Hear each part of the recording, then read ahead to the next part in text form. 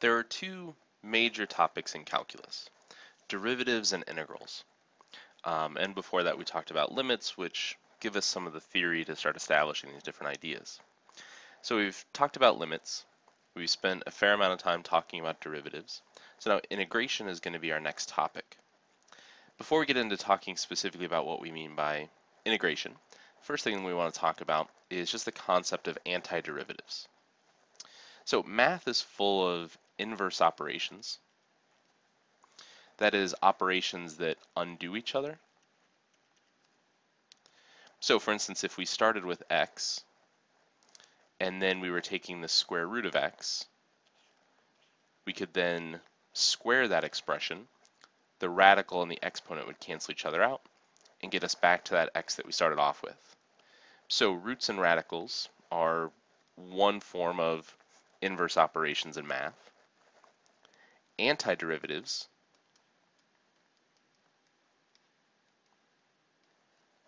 are the inverse operation for derivatives. So essentially we've been looking at how to find derivatives. Now we want to start with that resulting end product, the derivative of a function, and get back to the original function we would have started with. So we want to find an antiderivative of x squared. So our function f of x equals x squared, there's some function that if we took the derivative of that, we would get to x squared. So one place we can start is by looking at that exponent. We know the power rule um, for derivatives tells us that this exponent drops down as a factor in front. So our original function must have had an exponent that was 1 higher because we also reduced that exponent by 1. So it's possible that our antiderivative is x cubed. The nice thing about antiderivatives is it's really easy to check and see if we came to the right answer. We just need to take the derivative of x cubed and see if that gets us back to x squared. So in this case, the derivative of x cubed would be 3x squared, which doesn't quite match up with what we started off with. But we can see that the only thing that's different is this 3 out front. So what if instead of x cubed, we tried the function x cubed over 3? So then we can check by again taking the derivative of this function we're proposing. This would give us 3x squared over 3. The 3's would cancel, giving us x squared, so that absolutely checks out. The anti an antiderivative of x squared is going to be x cubed over 3. And so in general, we can say that some function, capital F of x, is an antiderivative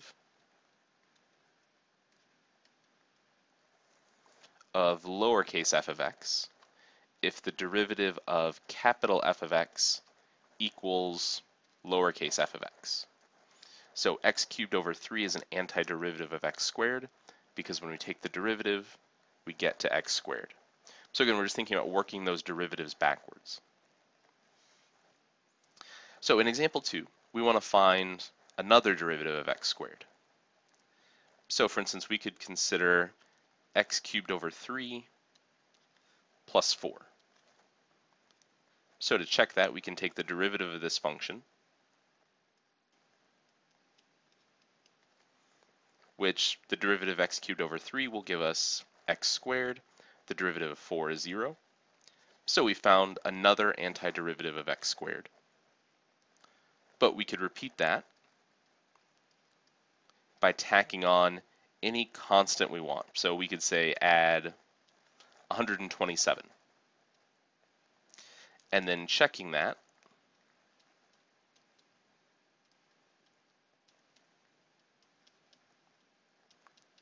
would still get us to a derivative of x squared, because regardless of what that constant is, the derivative of constant is always zero.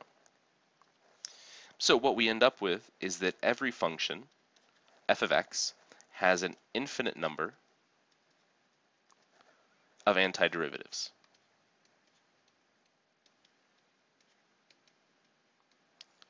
Because again, I could keep constructing these antiderivatives using any number here that I want. As long as there's no variable, that derivative always goes to zero. So each time we construct a new antiderivative. So what we want is to write a single expression that represents the entire family of functions that are antiderivatives of x squared. So we can't list out this infinite number of solutions. So instead what we would write is something of the form x cubed over 3, which is that general antiderivative. The derivative of this will lead us to x squared.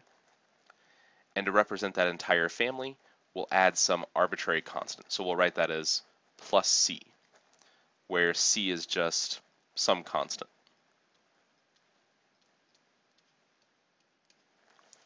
So this expression represents the entire family of functions, capital F of x, whose derivative would lead us back to x squared.